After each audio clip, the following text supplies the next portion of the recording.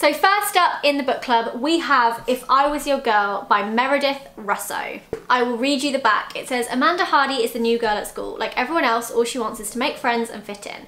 But Amanda is holding back, even from Grant, the guy she's falling in love with. Amanda has a secret. At her old school, she used to be called Andrew, and secrets always have a way of getting out. So this book is about a trans girl called Amanda who has lots of different trials and tribulations with friends, school, and love. I didn't really know what to expect from this book. However, I feel like out of all eight that I have picked, this is one of the most important. I have never read a book with a trans character ever.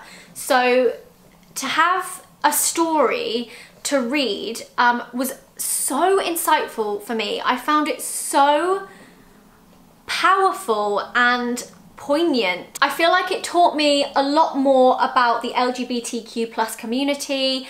It was so eye-opening and thought-provoking at the same time. One of the underlying features of this book, besides the fact that Amanda is a trans girl, is a very key, strong message about being true to yourself.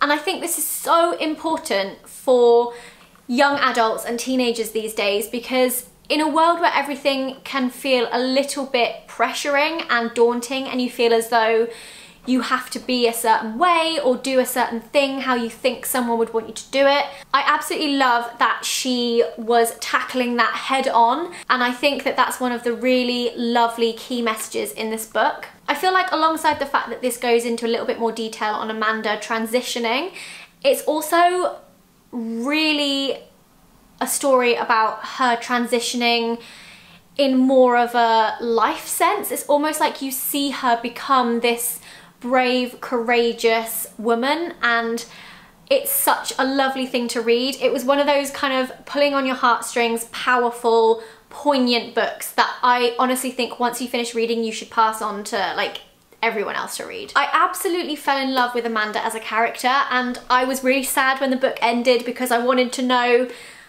I wanted to know how the rest of her life went and it was it was weird because I really felt such a strong connection to her because you're just rooting for her the whole way through. I honestly just think this book will change a lot of people's lives. If I had to ask Meredith one question, I would ask her which character was the hardest to write about. I always feel like it's one of those things that you always love the characters that were the easiest to write and like your favourite characters, but I would absolutely love to know which one she found the hardest to write about. So a couple of my favourite quotes from the book, which I was trying to narrow down to one, but I found that extremely difficult. So I've got two for this one, just because there are so many amazing kind of life quotes in here that people can take away from this book and really kind of live by and, and I think would actually make a difference.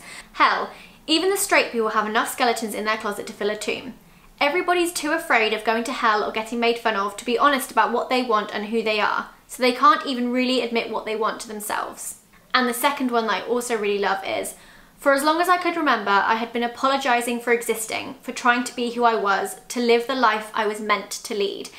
And I think that's a really nice place to end it on because there are so many things you can take away from this book and they're all really positive and really motivational and really inspiring. I think that's one of the main things I found about this book is how inspiring Amanda was as a character and I just recommend you all to read this book. It's it's amazing.